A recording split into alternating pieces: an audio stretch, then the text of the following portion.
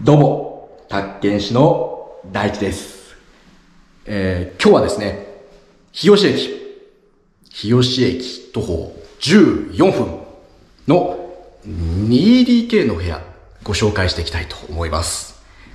えー、最近ですね、えー都内の方から、まあ、単身一人暮らしなんですけど、広い部屋を求めてるお客様、すごく増えてます。なので、2DK のお部屋って実際どれくらい広いのかな？っていうのもですね、今回のルームツアーの方にて感じ取っていただけたらなというふうに思います。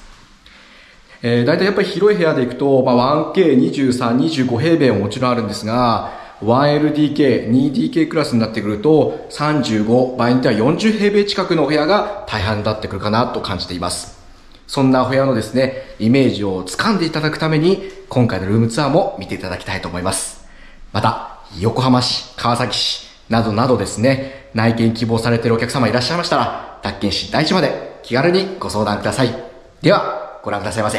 どうぞ。